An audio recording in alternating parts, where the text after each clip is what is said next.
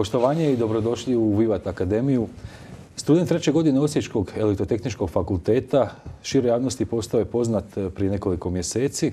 Naime, u organizaciji Udruge inovatora Hrvatske boravio je na svjetskom sajmu inovacija u Njemačkoj gdje je osvojio srebro za svoj vakumski motor pod nazivom, mi ćemo lajici to reći ovako, jedač plamena. U studiju pozdravljam Marka Pinjuha, dobro večer i dobrodošao. Hvala puno. Marko, kako se osjećaš ovih dana kada te sva sila medija hrvatskih prati, a tako i čujem inozemnih? Pa ništa, meni je samo drago da se to sada doista i popratilo, jer doista se i pokazalo da i vrijedilo je to popratiti, jer to je jedna pozitivna vijest u ovo doba kada sve loše vijesti se sada šire. Hmm. To je praktički, što bi mogao reći, poticaj i nadahnuće da i dalje ostanemo negdje gdje jesmo i unatoč svemu što nam se događa. Osmijeh na licu govori nam da si dobro ispregovarao. Tako je, tako je. Jer upravo sam postigao ono što sam doista i želio i htio. Kakvi su bili pregovori, gdje su bili i koliko su trajali? Znači, pregovori su zbilja prošli uh, uspješno, kao što sam rekao, baš onako kako sam ja i htio. Znači, uh, pregovori su bili u vezi znači, preuzimanja same inovacije. Uh, bili su održani e, znači, van naše Republike Hrvatske, točnije u, negdje u Austriji, odnosno gdje, gdje je bilo okupljanje svih zainteresiranih. Nakon izlaganja, odnosno svako je rekao što bi želio, mhm. odnosno što bi želio postići. Nakon toga sam ja želio reći što ja želim naravno postići i na bazi toga u isto tako u dogovoru sa svim svojim kolegama inovatorima i sa svim svojim mladim ljudima koji su me isto tako i zamolili određene stvari, da ispregovaram isto tako u tim pregovorima. Na bazi svega toga sam uspio napraviti dogovor na obostrano zadovoljstvo. Marko, to znači da osim američke svemirske agencije NASA je bio još neko, neke tvrtke, još neke institucije svjetske? Tako je. Možeš i reći ko je još bio? Pa pošto sam, pošto sam trenutno vezan znači ugovorom, mhm. ne, ne mogu znači izjavljivati ničije Mhm. znači kompanije, jer vezan sama izjavljivanje bi doista onda i ugrozilo možda i poslovni plan i radnju njih. E, rekli smo na početku da tek kad završiš fakultet, kad diplomiraš, ondje ćeš ići. Otprilike tako. Pa tako sam znači i rekao, jer svima je bila zainteresirana ta ponuda od NASE, ponuda je otvorena. Mhm. Znači, ja sam u ovome trenutku odlučio da, kao što sam i prije govorio, da želim završiti fakultet, što sam i počeo, a onda nakon što završim fakultet ću razmotriti ponudu, razmotriti znači sve stavke mhm. i prema tome ću onda donijeti svoju konačnu odluku hoću li se pridružiti njihove timu. Možemo malo o tvom obrazovanju i školovanju. Idemo početi od osnovnoškolskog. Pa može nešto, znači... Gdje si išao osnovnu školu? Osnovno, osnovna škola je započeta, znači osnovna škola Mladost. u toj osnovnoj školi Mladost sam doista stekao ono osnovno obrazovanje i doista mi je i drago da sam tamo to istekao mm. i sa svojim profesorima koji su isto tako i vodili u daljnjem radu. Od tamo sam praktički počeo sa svim e, inovacijama, jer od osnovne škole bio sam i polaznik Centra tehničke kulture ovdje u Osijeku. Znači bio sam i vaš županijski prvak Osječko-baranjske županije, također sam išao i na državna natjecanja mladih tehničara i tamo sam isto napravio zapažen uspjeh i nakon što sam u osnovnoj školi odradio mhm. sve te inovativne radove koje, koje sam radio, odnosno u to vrijeme to je bilo više modelarstvo, jeli, što se radilo, a sada je sve to na neki način i prestalo, a počelo se samo baviti sada inovacijama. Onda kad srednja sam, škola? Kad sam krenuo tako je u srednju školu, onda sam e, isto tako donekle ulazio u područje elektrotehnike, jer me to najviše i zanimalo. Pošto sam bio znači, e, učenik e, elektro, elektrotehničke prometne škole u Osijeku, tada sam isto nastavio sa svojim e, drugim životom, odnosno kad bi došao kuć bavio bi se sa inovacijama, tako da sam nastavio sa svojim inovacijama i dok sam bio znači u trećoj godini sam također otišao na državno, ponovno, odnosno ponovno sam se plasirao na državno natjecanje mladih tehničara. To je bilo 2010. godine ako se ne varam. I iza toga kad sam bio maturant sam naravno dobio od kolegice mi je bila proslijedila sa studenta elektrotehničkog fakulteta u Osijeku, proslijedila mi je znači nacrte, odnosno jedan seminarski rad koji su radili studenti samoga elektrotehničkog fakulteta. Oni su radili temu znači Stirlingovog motora i ja sam tada zapravo prvi puta vidio e, nekakvu stvar, odnosno nekakav motor koji može vršiti uštedu na nekim gubicima ili otpadnim, otpadnim toplinskim gubicima. Kad sam to vidio, ja sam tada bio doista i zainteresiran. Nakon toga sam malo i okolo jeli, da pogledam o čemu se to doista radi. Kada sam vidio o čemu se radi, tada sam i vidio i uradak od nizozemskog inženjera Žona Ridersa, koji je svoje podatke javno i obznanio, tako da je sa, sa svim svojim podacima pokazao o čemu se radi.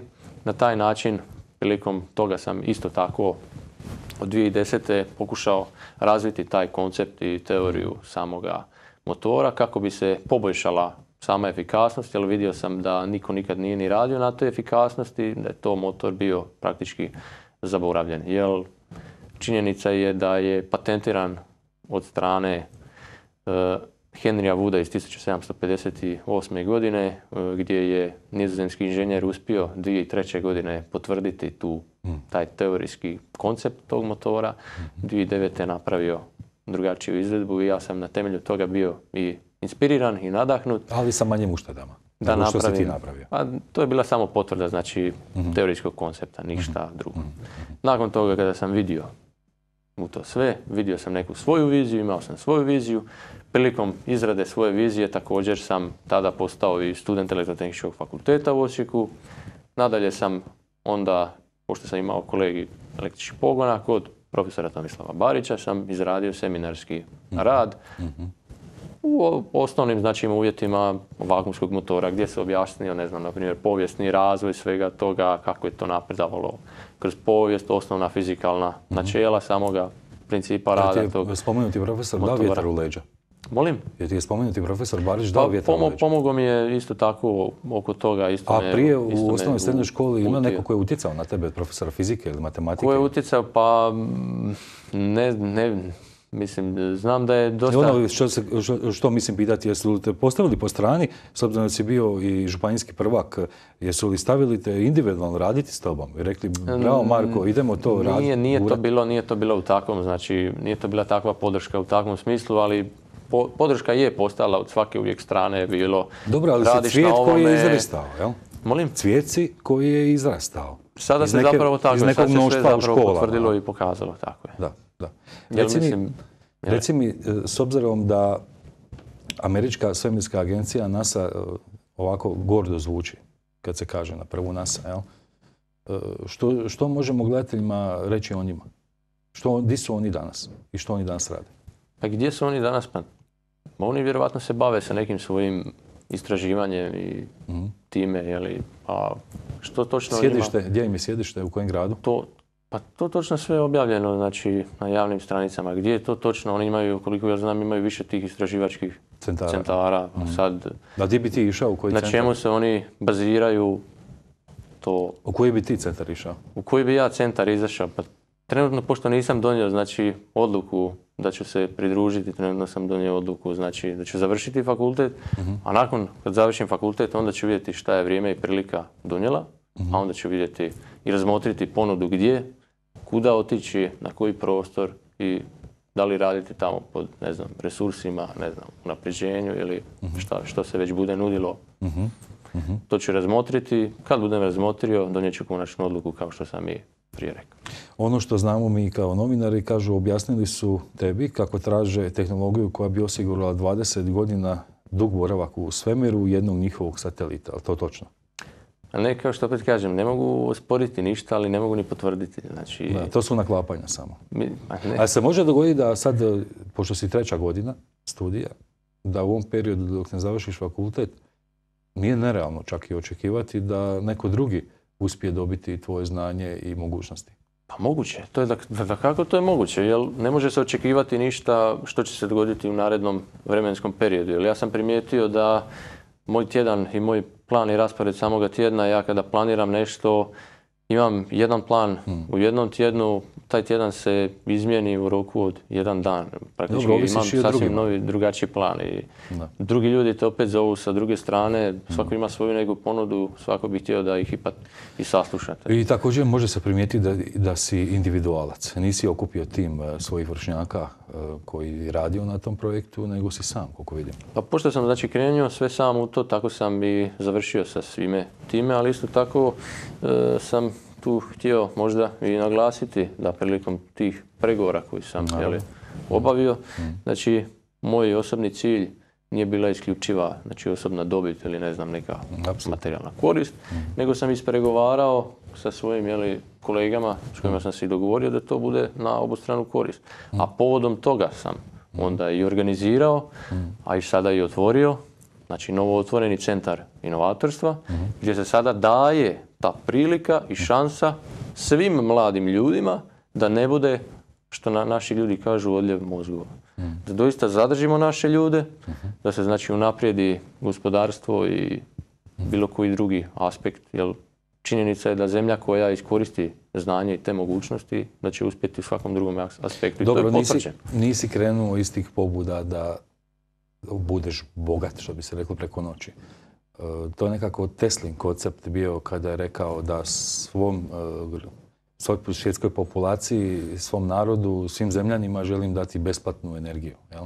Pa na kraju su se uključili onda financijski lobby svakakih vrsta, pa to nisu dozvolili. Znamo zašto. jel? Normalno, svako uvijek To je želi... u tvom isto slučaju. Svako uvijek želi nešto naplatiti, svako uvijek želi vidjeti neku korist od toga. jel? Ja kad spominjem Teslu, što misliš o Tesli? Je ti on uzor? On mi je uzor, kao što sam izjavio, nema šta, on mi je uzor, a u njegovo doba, kada je on bio, on nije imao baš tu priliku i mogućnosti, jer tad je i tehnologija bila dosta puno slabija nego danas. Danas je sve moguće. Prije se nekad davno i govorilo da, ne znam, na primjer, nije moguće napraviti televiziju, bilo je nemoguće zamisliti da možete razgovarati preko računala i vidjeti tu osobu na neku dalju udaljenost. Danas je to sve moguće. E, Reci mi, e, obitelj, podržava li te u tome i što oni kažu za, za ono što si napravio, što si učinio? Pa naravno da podržavaju, sretni su, zadovoljni su i ja se isto tako i zahvaljujem i nji- i njima na svoj toj podršci koju su mi dali, isto tako i svim ostalim ljudima koji su mi dali podršku, jer bez te podrške to je na neki način i moralna podrška a i vidi se sada da evo kada je vijest izašla da i svi ostali mladi ljudi su dali tu podršku, da su zapravo vidjeli da ja ove pregovore nisam obavio na svoju korist, nego sam obavio na opće dobro svih ljudi, građana naše Osječko-baranjske županije, za sve mlade ljude, jer ja sam primijetio da od njih niko nije mogao dobiti, na primjer, priliku i mogućnost, iako su to imali su znanje, vještinu, sve su imali, a prilike nije bilo. Stoga su priliku tražili negdje drugdje van Republike Hrvatske, a da bi to spriječio prema i zahtjevima njihovim, a i drugim, sam ispregovarao na taj način da se otvori centar inovatorstva, a onda preko centra inovatorstva mogu dobiti tu šansu i priliku da najbrže i najjednostavnije realiziraju svoju ideju do same realizacije, komercijalizacije i plasiranja na tržište. Idemo kratko na reklame i odmah se vraćamo u studiju.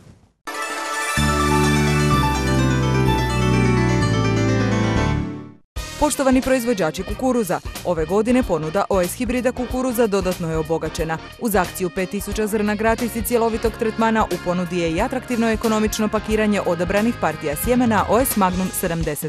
Vaš poljoprivredni institut Osijek.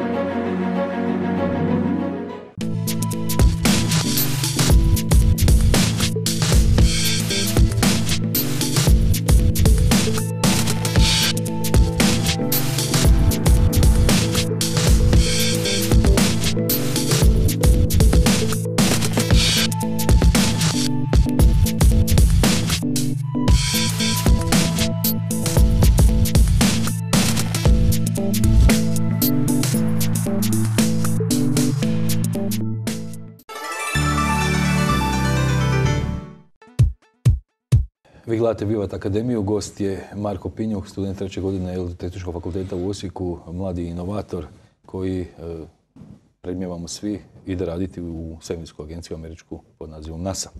E, Marko, reci mi, imaš li još e, drugih izuma ili inovacija osim ovog u javnosti poznatog jedača plamena pod navodnicima? Osim toga, znači, što je bio u javnosti poznati, što ste imali prilike slušati naredne dvije i pol godine što sam izlagao na svim mogućim sajmovima i doista sam pokazivao da je doista našao svoju primjenu i da je doista i prepoznat od niza tih ustanova i da je doista objašnjena bilo kakva razlika, tako da samim time što je, odnosno konačna je potvrda da samim time što je prepoznata, plasirana i preuzeta daljnje sumnje u vezi da je rad inovativan i upitan, te da, to, razmatranje oko toga nije, to je pase sada, to, je pase, to si, to si sigurno ćeš i dalje imati nekih e, Ma, to, pa to će uvijek biti. Mislim, leđnih e, varijanti da ti se zabijaju noževi i tako dalje, ali to, to, to, to uvijek dvije strane moraju postojati.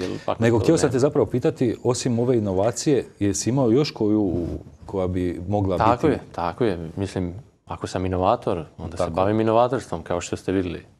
Moj tijek je išao od osnovne škole, srednja škola, uzlazna putanja. Uzlazna putanja. Kao što sam i rekao, inovatorstvo je moj drugi život i time ću se i nastaviti baviti. uh Iz ove inovacije slijedi treća inovacija, ali kao što sam već rekao, cilj mi je sad završiti fakultet, tako da ću morati svoju inovaciju isto odgoditi, te se nadam, odnosno već imam jednu viziju, uh ako doista se bude sve poklopilo onako kako sam i to, i kako onako to i očekivam, onda očekivam da negdje od desetog mjeseca, ako doista uspijem do tada završiti fakultet, onda od tada ću pokušati napraviti izradu toga prototipa. Do kraja, znači četvrtoga mjeseca ću pokušati izvršiti to, znači testiranje da se može to napraviti. Iza toga, znači ide komercijalizacija, odnosno da se doista pokaže ljudima o čemu se tu radi. Nakon toga ponovni pregovor. Do tog dok ne dođe, dok ne pokažeš o čemu se zapravo radi, Ajmo na jednom primjeru osječkom to možda e, pojasniti. Već si o tome govorio, ali evo za ove gledatelje Vivat Akademije da im kažeš imamo osječku toplanu. Kada bi tvoj projekt bio implementiran u osječku toplanu, što bi se događalo?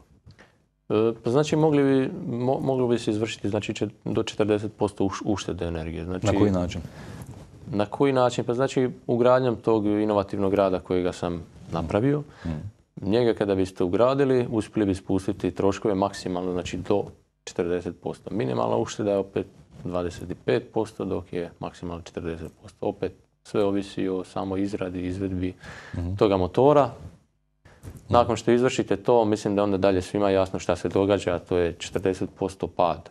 Mhm. Ili električne energije ili toplinski, ali opet je za očekivati da neće takav pad biti možda da bude i pad 10% cijene, opet je to veliko, od velikog značenja. Jel? Da, i onda se uključuje matematika, računica i stavljaju se premise i gleda se koliko će ko zaraditi. Pa normalno, mislim uvijek je to bilo tako, je, je to jedna ono malo žalosnija stvar, ali evo...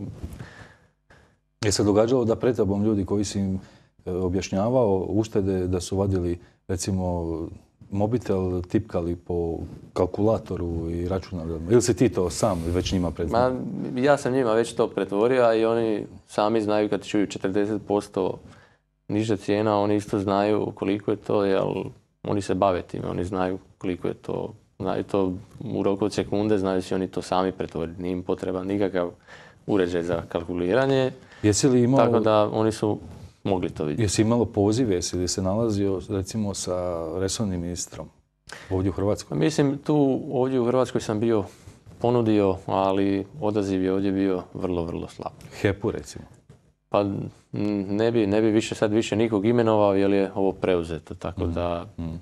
ugovorna obveza mi više ni ne dopušta nikakvo imenovanje nikoga, jel? Odnosno, jel? Dobro.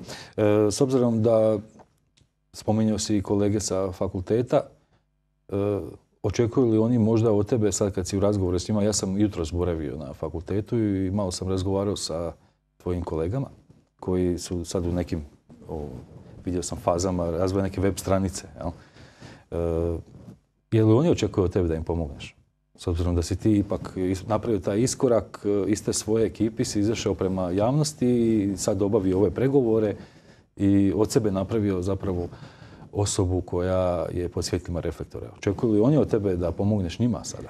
A tako je, od njih, od njih je ujedno to i krenulo. Cilj mi je bio svim svojim kolegama i svojim vršnjacima i mladim snagama i mladim ljudima doista ustupiti tu pomoć, dati im priliku i mogućnost da naprave nešto u svom životu, da doista ostvare svoje ciljeve i ideje. Stoga ako neko ima ideju, inovaciju, slobodno može doći i to predočiti centru inovatorstva. Centar inovatorstva će to preuzeti, odnosno neće preuzeti na način da će napisati svoje ime i prezime na to, nego će samo preuzeti, proslijediti zainteresiranim kompanijama.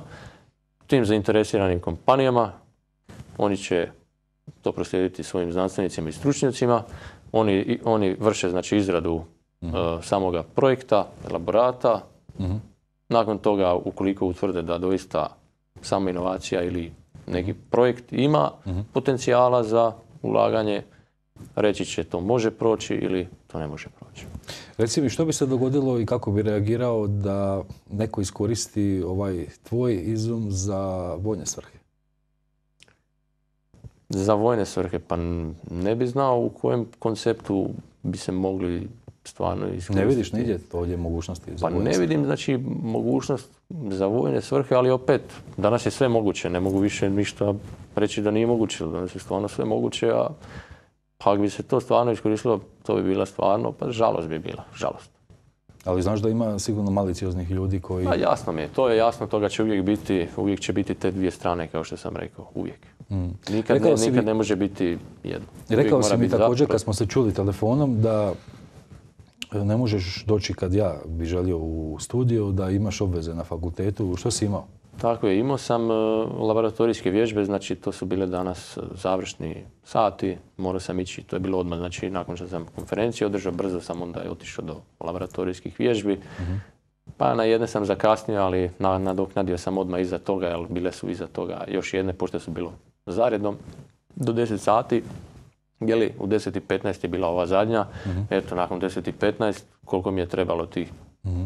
formalno 30 minuta koliko su i trajale vježbe, došao sam i evo odmah što, što prije sam mogao zbiljati. S obzirom da imaš dovoljno iskustva da pričaš o tome, kakvi su uvjeti studiranja na ETF u Osijeku? Jesi li zadovoljan? Pa, kako bi to mogao reći, i jesam zadovoljan sa time, ali opet imamo možda i nekih propusta i nešto možda i fali, ali sa samim fakultetom sam zadovoljan. Možda bi to moglo biti prikazano i predočeno na jednostavni način, ali dobro, ne želim se miješati tu. A što nedostaje? To opet možda profesori bolje znaju. Možda to je njihova struka i posao. Pa možda, možda, dobro, možda i oprema nedostaje, dosta su već tu i opreme malo e, pokupile godina, a možda i nedostaje, na primjer, za, to sam primijetio, to sam primijetio, a i ne na, samo na našem fakultetu, nego na i svim ostalima, da možda nedostaje onaj kolegi e, o završnim radovima. Mhm. Znači da se mhm. priča, mhm. da se održi kolegi kako treba pisati završni, diplomski, znanstveni, neke časopise, objavljivati članke, jer to praktički nigdje nema. To je bilo na medicinskom fakultetu i to tamo doista kod njih i uspjeva i to se pokazalo da doista valja. To bi možda bilo korisno jer onda bi tada ljudi naučili kako se to piše jer s obzirom da kad studentu kažete završna tema vam je ovo, vi to napišete. Student ne zna kako da to napiše. Mm. Pa onda student ide po onom teoremu, e, nabavit ću rad od kolege, vidit ću kako je on to mm. napisao, pa ću ja nešto pokušati slično Samo izmijeniti malo, staviti svoju temu, ispisati svoje kritike, svoja neka mišljenja na to što je priloženo, dokazano i... Nadam se da gleda uprava fakulteta pa da će reagirati e, na, pa ja mislim, misli. Ja mislim da će se to reagirati jer to bi bilo zbilja dobro i korisno za sve studente. A recimo srodni fakultet u Zagrebu, kako je tamo?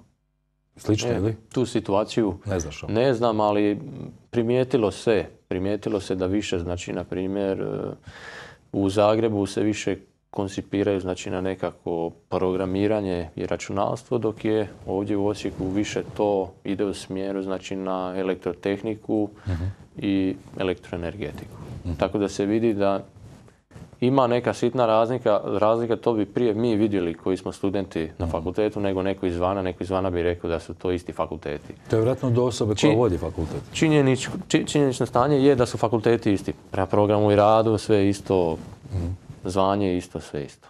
Jel ti je možda ima želju biti jednog dana profesor?